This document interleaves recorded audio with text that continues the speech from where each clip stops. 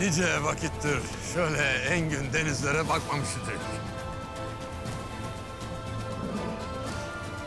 Daha evvel denizde hiç yolculuk etmemiştim ben de.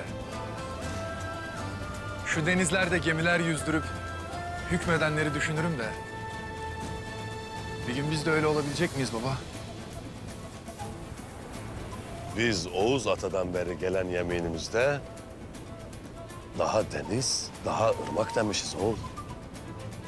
İnşallah o günler de gelecek.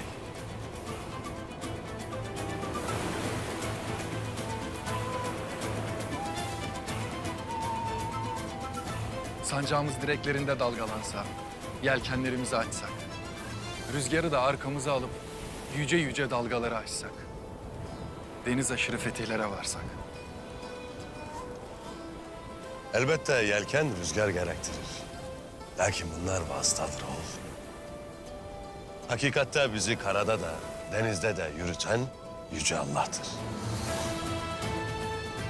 Biz Allah'ın ipine sımsıkı sarılıp Allah'ın davası uğrunda gayret ettikçe gemimiz nice ırmakları, nice denizleri aşacaktır inşallah. İnşallah. İnşallah beyim. İnşallah.